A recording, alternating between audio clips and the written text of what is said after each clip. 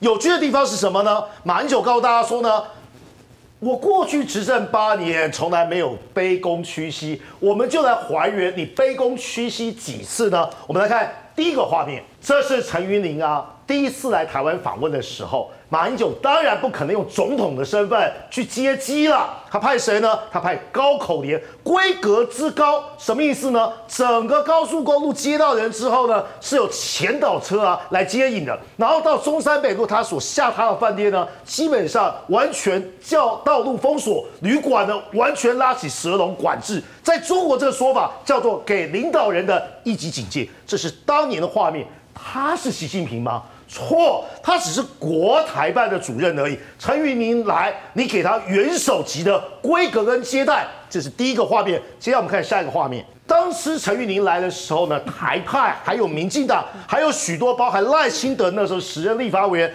带着民众，这是在哪里？在金华饭店，在金华饭店门口去抗议。但是呢，警方是用什么方式来对待自由民主跟多元社会之下台湾民众的心声呢？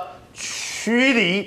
再不然呢？用包围策略想办法让你离开。为什么拿国旗要被打？我们再往下看，这是赖清德的画面。最有趣的地方是呢，民众带的国旗，举的是中华民国的青天白日满地的国旗。拿国旗的基本上被扯掉，拿国旗的直接呢叫你收起来。我们是再带我们的国拿拿这个国旗伞也不行啊，拿国旗通通都不行。为什么？因为呢，时任海基呃不，时任陆委会主委王玉琪告诉大家说，这不是待客之道。我觉得莫名其妙的地方是啊，哎，统促党的人举五星旗去欢迎他们自己国家的领导，结果呢？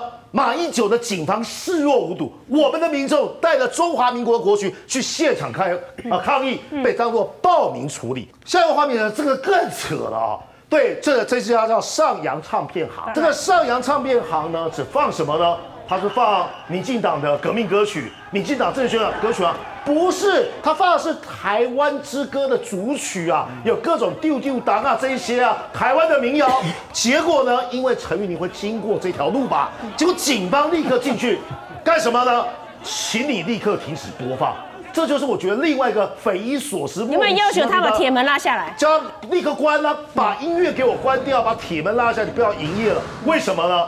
因为习近平看到啊，习近平的特使陈玉玲经过看到之后。人家会觉得不高兴嘛？陈玉玲来台湾有带中华人民共和国的公安来，是不是？所以这是中华人民共和国带来的公安吗？呃，这这在台湾他们有他们国安单位的人来这边做维安的。嗯。但是呢，我们自己国安单位人呢，把自己当成是中华人民共和国的这个保安，或是中华人民共和国的公安部，这就叫做舔够嘛。张老师，重出江湖的马英九要走什么路线啊？呃，马英九没有路线啊，他就是投降这两个字。那蔡英文路线跟马英九路线到底有什么不一样？哈，我觉得那个一个很根本的不一样，就是说，蔡英文总统对台一从那上任以来，就跟所有的台湾人民讲说，台湾不要再认为我们台湾叫做小国小民。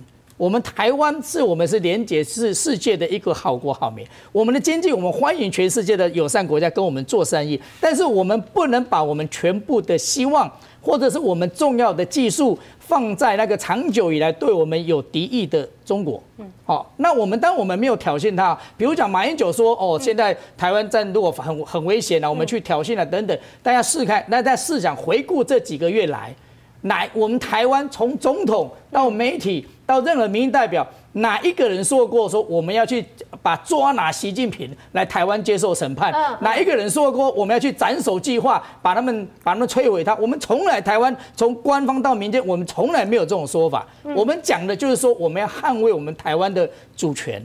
我们做的就是维护我们这个家园的一个决心跟一个对外的一个宣誓。反而是中国，他一再的就是说，好，甚至连说要抓拿台湾的，包括总统，包括民进党的一些政治人物，都要抓拿，就要抓去北京受审，连这种话都讲出来。所以我觉得，真正迫害、真正迫害我们两两岸之间的和平的。那如果说在在意这件事情呢，真正破坏这样的和平的，其实是中国所挑起来的。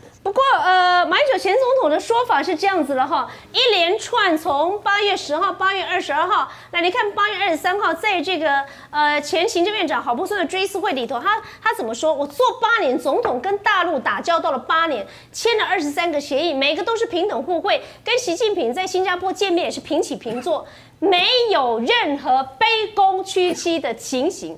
来，注意听这句话啊。没有任何卑躬屈膝的情形，是这样子吗？